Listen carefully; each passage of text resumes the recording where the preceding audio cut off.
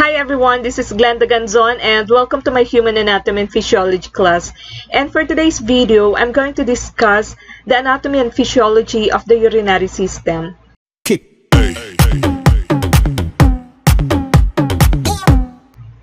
The urinary system, which is also known as the renal system, produces, stores, and eliminates urine, the fluid waste excreted by the kidneys. So the kidneys make urine by filtering waste and extra water from the blood. Urine also travels from the kidneys through two thin tubes called ureters and fills the bladder. And when the bladder is full, a person urinates through the urethra to eliminate the waste.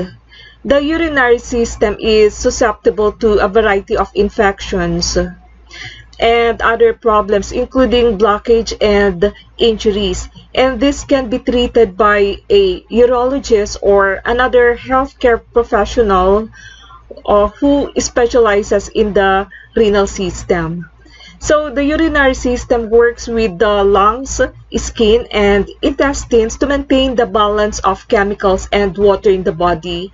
Adults eliminate um, about 27 to 68 fluid ounces that is equivalent to 800 to 2000 milliliters per day based on a typical daily fluid intake of 68 ounces and that is 2 liters.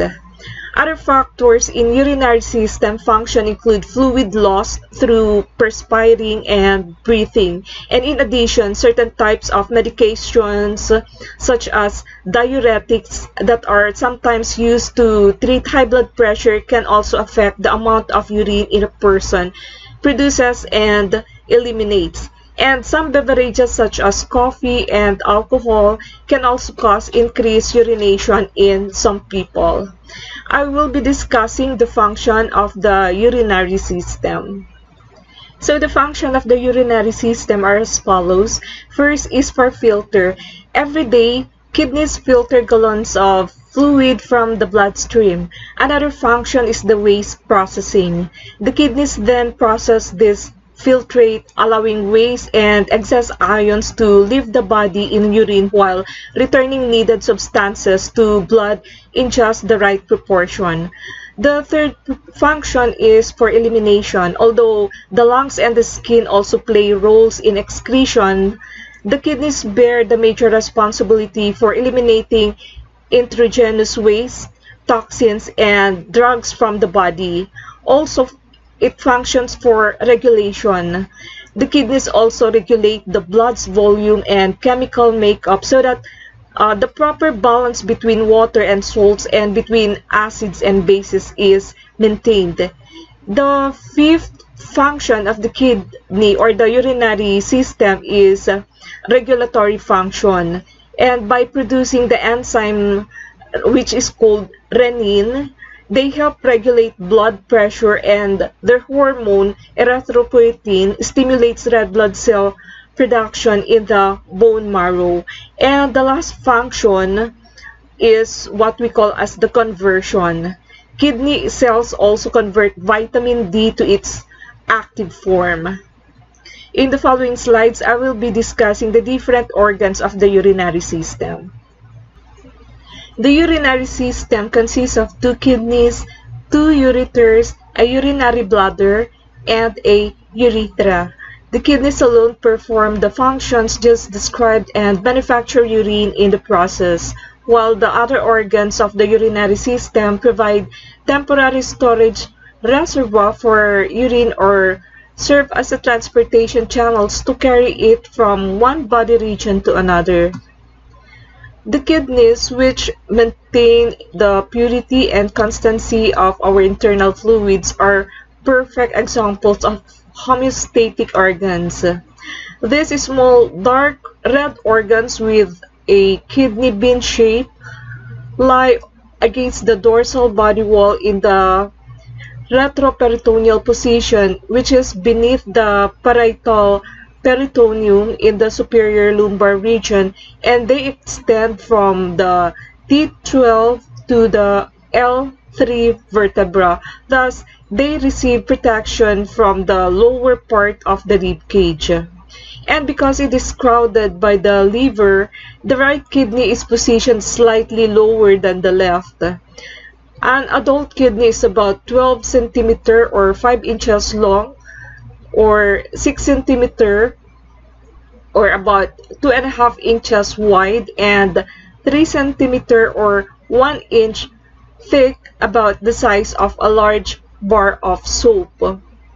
Atop each kidney is an adrenal gland which is part of the endocrine system is a distinctly separate organ functionally and a transparent fibrous capsule encloses each kidney and gives a fresh kidney a glistening appearance. A fatty mass, which is the peritoneal fat capsule, surrounds each kidney and acts to caution it against blows. The renal fascia, which is the outermost capsule, anchors the kidney and helps hold it in place against the muscles of the trunk wall. And the outer region, which is light in color, is the renal cortex. Deep in the cortex is a darker reddish-brown area, which is the renal medulla. The medulla has many basically triangular regions with a uh, strip appearance, which is the renal or medullary pyramids, which broader base of each pyramid faces toward the cortex while uh, its tip, the apex, point toward the inner region of the kidney. The pyramids are separated by the extension of cortex-like tissue, the renal columns. Medial to the hilum is a fat, basin-like cavity, the renal pelvis, which is continues with the ureter leaving the hilum. Extension of the pelvis, uh, which is what we call as the calyces, form cup-shaped areas that endorse the tips of the pyramid and collect urine, which continuously drains from the tips of the pyramids into the renal pelvis. The adrenal supply of each kidney is the renal artery, which divides into segmental arteries as it approaches the hilum and each segmental artery gives off several branches called interlobar arteries.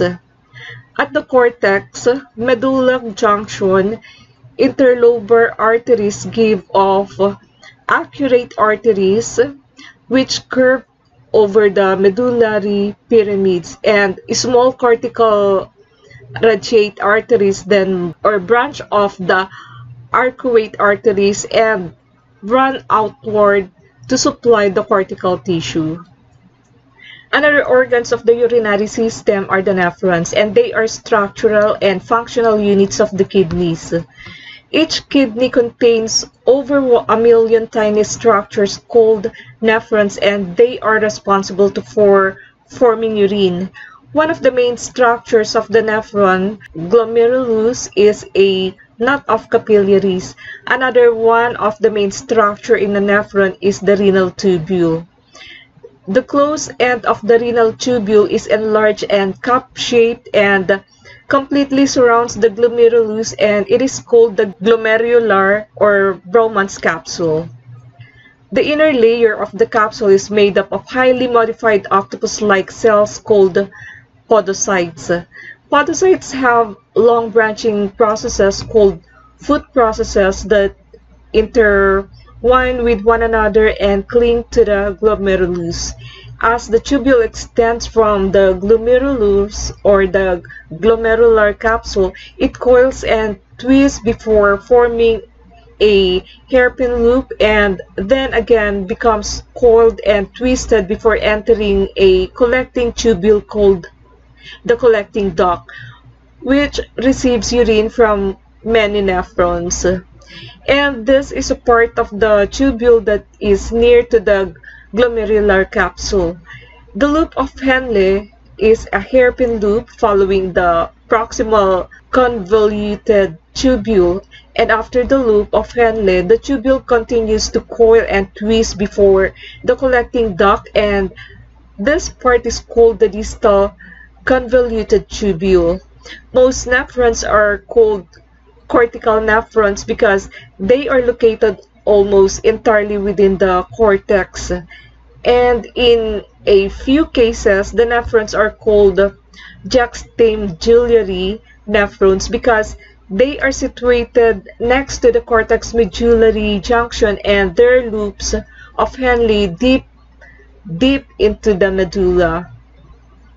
The afferent arteriole which arises from a cortical radiate artery is the feeder vessel.